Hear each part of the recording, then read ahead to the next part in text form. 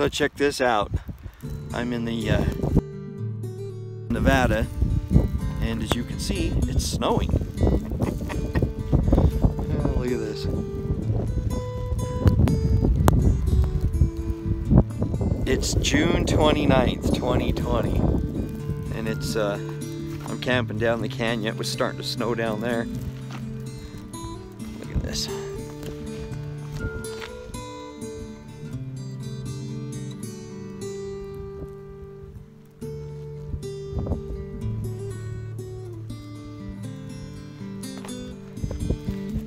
I'm not going to be getting any pictures tonight at sunset. this is so cool though. It's like 34 degrees, just barely above freezing, and but it's sticking. anyway, I'm having fun.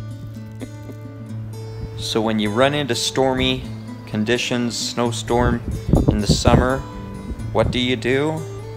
You photograph it. So I decided to do a bunch of photographs of the scenes in black and white. I mean, it was black and white.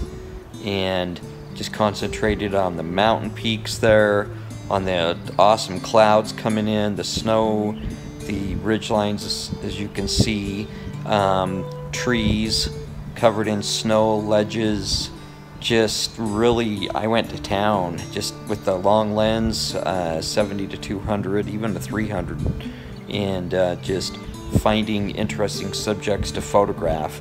As you can see here this one was one of my favorites this one and and the next one with these cool trees. And then my favorite of the whole of the whole night was this one right here. I just really loved that. Uh, this area's got some great trees Oh, I forgot about this one, my panoramic. This is a, a vertical shot stitched together that is phenomenal blown up. Um, this was actually what I went to photograph was this scene here and uh, I got it in black and white. Well, it's June 30th, 2020 and I'm freezing my butt off. I am uh, in the mountains. Look at that behind me.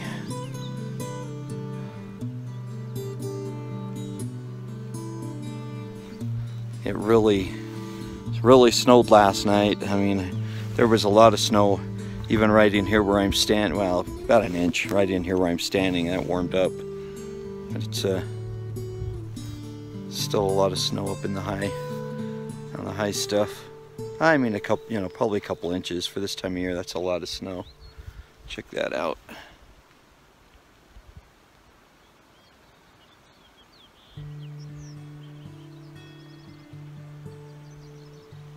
I'm hoping the, the light does something.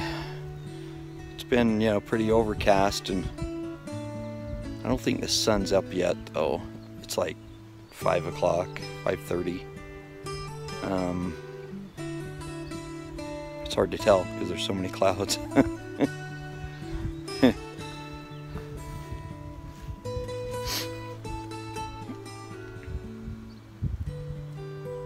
pretty pretty. The Adventures of Me. Well, it's about 7.30 local time and uh, the clouds have been pulling away and it's gotten nice. Look at this behind me.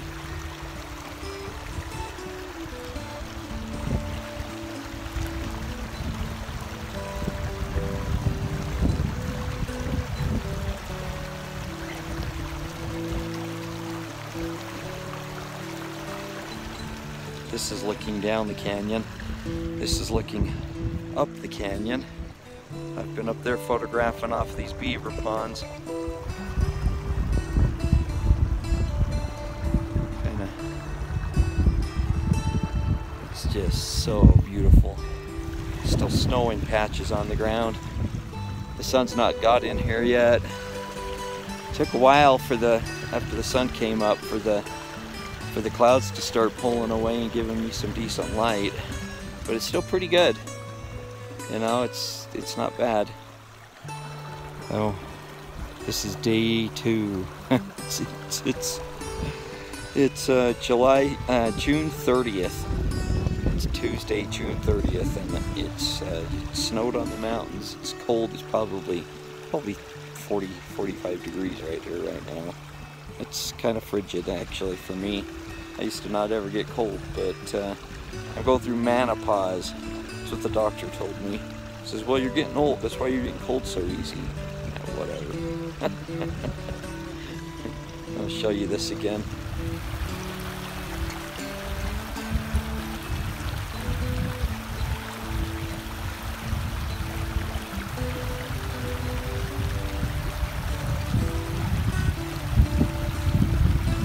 Isn't that just beautiful?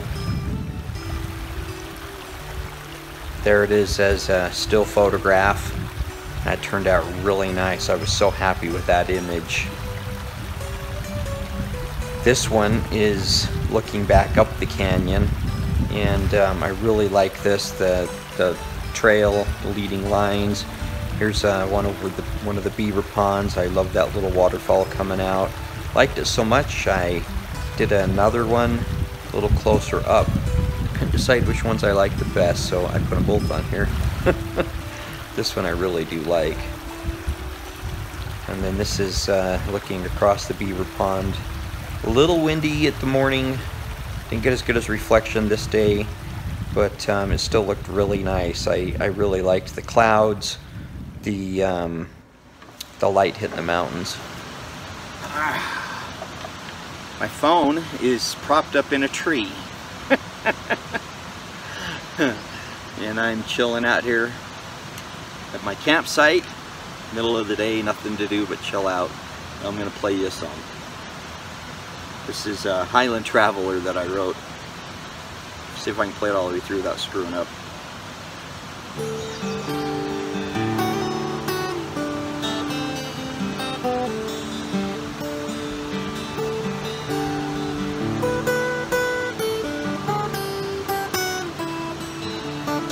Guess not. Let me start over.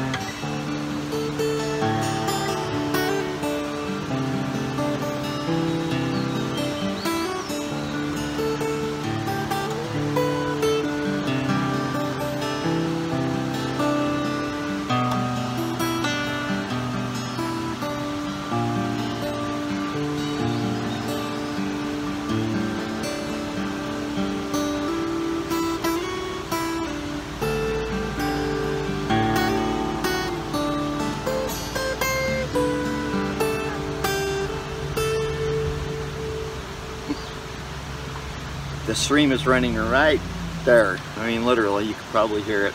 Probably can't hear the guitar very well.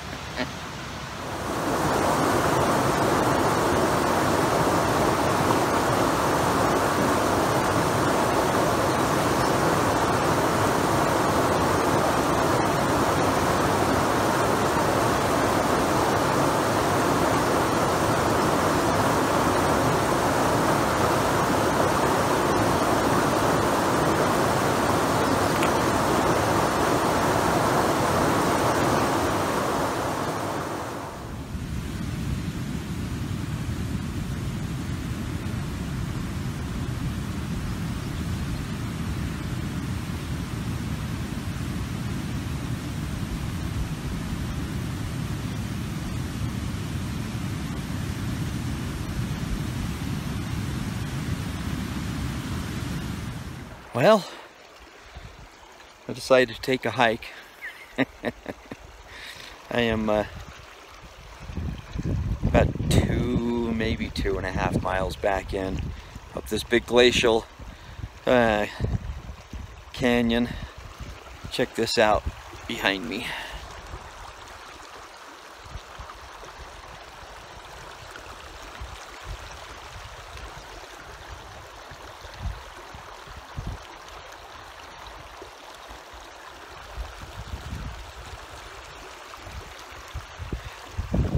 Just glorious? And that's where I came from, was way back down there.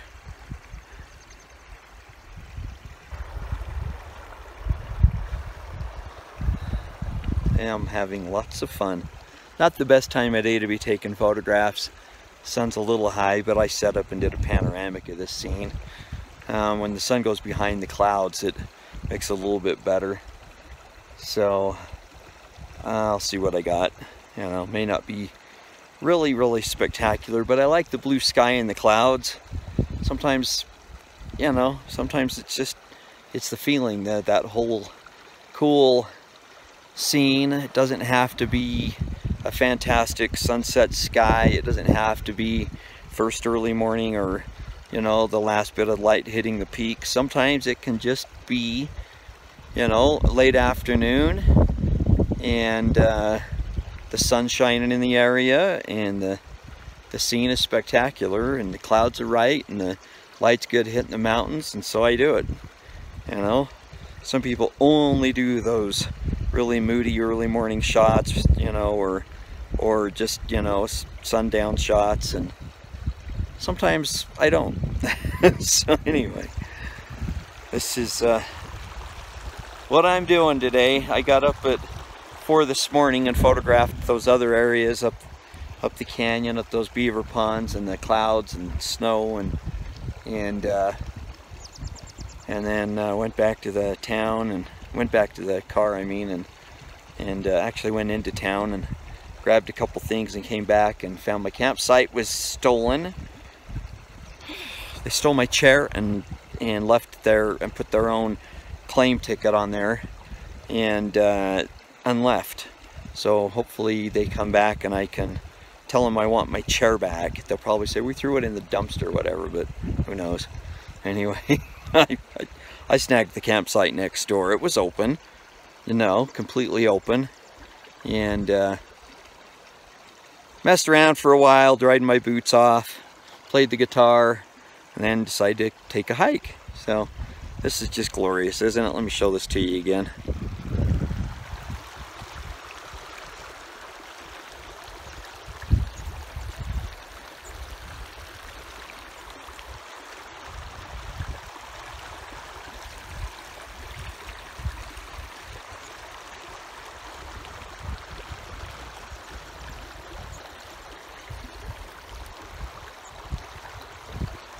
I could sit and listen to that sound of the, the gurgling stream and the birds all day long.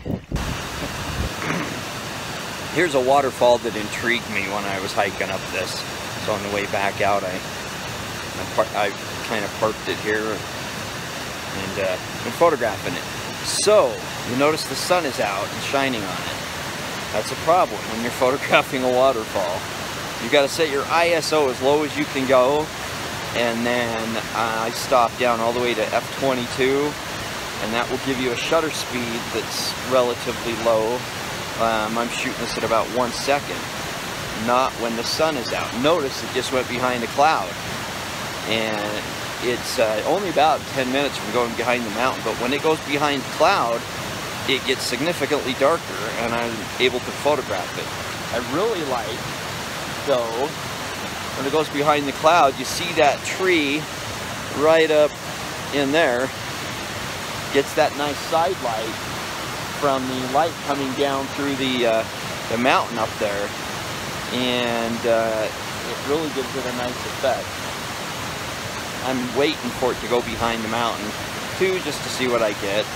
But um, you could shoot on a cloudy day if the sun goes behind nice thick clouds. And uh, it can give some nice lighting effects too. So that's uh, what I'm doing here. I uh, just saw this wonderful waterfall. I love the pine trees. That one goes up in there. It's nice little cove right? Let me let me show you.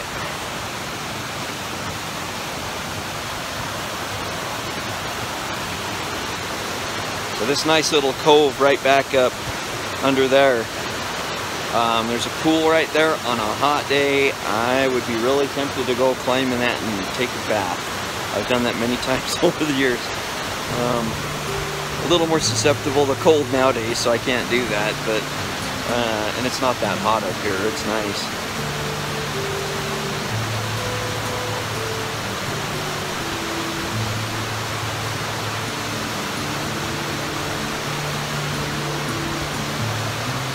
Isn't that just nice?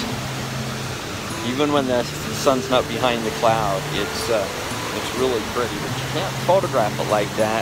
The dynamic range is too high between the highlights and the shadows, and it ends up causing um, just too much contrast. And you know, you it's hard to get. It blows out the whites, and then you lose the shadow detail. It's best uh, to try to find it where you can have a nice average exposure across the range. The water's going to be brighter, and that's the way it's going. Water's white. So just wait for the sun to go behind the cloud or behind the mountain.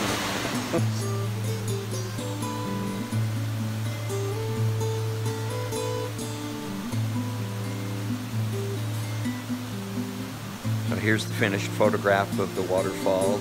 This was a 1.6 seconds at uh, ISO 31 and f-stop set at 22. I just love how this turned out. Thank you so much for watching. I hope you enjoyed this video. If you did, click the like button. Please subscribe. I could really use it. uh, happy trails.